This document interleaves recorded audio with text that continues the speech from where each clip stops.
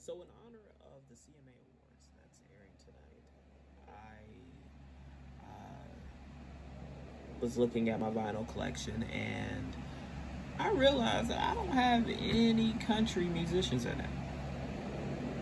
And that's a problem.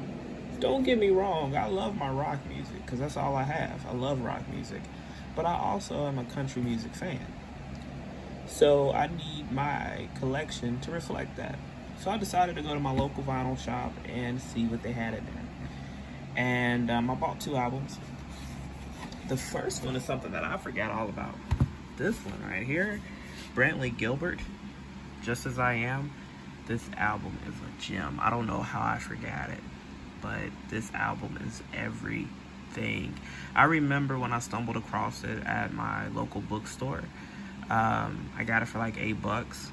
And to be honest, only one song I, I knew stood out, and that was Bottoms Up. And that was just enough for me to blindly buy it and listen to it. And I loved it from start to finish. Um, I just love this album. I got into the habit of playing this thing like two to three times a day. I remember at that point I had like a Windows phone and I copied the album to my PC and then I put it on to my Windows phone. So when I was away from the CD, I could play it in my headphones. This this is a true gem. Uh, I would say my favorite song on here is Lights of My Hometown because it just reminds me of summer. It reminds me of pep rallies. It reminds me of that local sporting uh, sporting team that's getting fired up. It just reminds me of, of that. Um, honestly, I would love to to see him perform at the Super Bowl or something like that because I feel like that would be great. Um, honestly, this whole album is pretty good, but that's my favorite. Then I would say uh, the intro, If You Want a Bad Boy, is a pretty badass way to start um, an album off. Um, and let's see, That Was Us was pretty good too. So this whole album is pretty good. I would say my least favorite on on here would be the Bottoms Up remix because I just felt like the song was already good. It didn't need to be remixed. So that, that was just me. But yeah, this, this is definitely a must-have, and I had to add this to my collection as soon as I saw it. This wasn't even a thought. Like, I didn't have to think about, like, oh, I don't know, is, is it worth $18? I was like, yeah, it's, it's, it's, worth $18. Grab that, put that in the, in the cart, it's coming home. So yeah, I got it. It's the Platinum Edition. It didn't come with any, like, um, posters or pictures or anything like that, or just any little thing.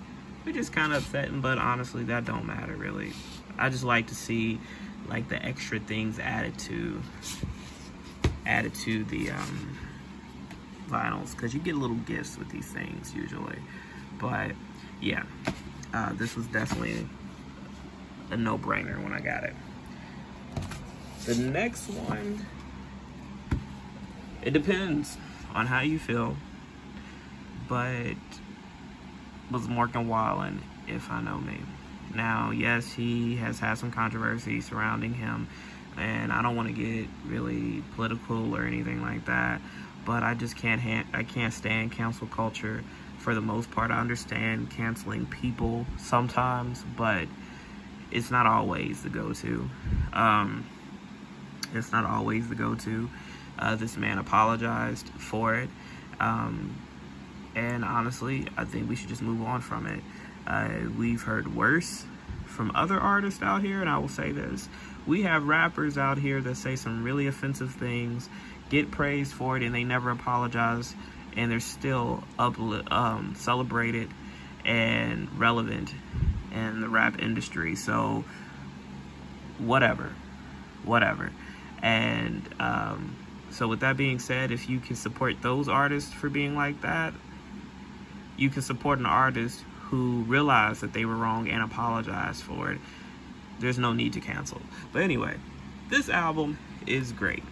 This album is great. I honestly cannot even tell you which one is my favorite because they're all neck and neck with each other. This is also one of those albums that you put on and you don't have to worry about skipping through or checking out because like God, I don't really like this song like that. This is great from start to finish. And that's the thing with vinyls. That's the thing with vinyls. Vinyls you don't waste a vinyl collection on just anybody. There are certain albums that you put in there. If the album cannot be played from start to finish, then then it's not worthy. If it only has two good songs on it, it's not worthy. And I think the vinyl the vinyl trend is going to expose a lot of artists because you do have some that may put maybe two or three good songs on the album and then the rest is just meh. The rest is so-so. And usually in the day and age of streaming, we're able to overlook that because we can just skip it. We can just buy that song in particular. We don't have to really worry about buying the entire al album. But if you are a vinyl collector, you want something that you can play to, from start to finish and love it all the way through. This is one of those albums.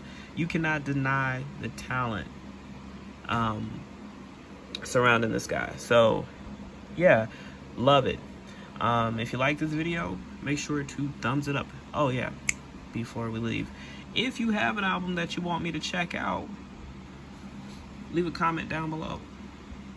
And with that being said, if you like this video, make sure to thumbs it up. And we're out. Thanks for watching.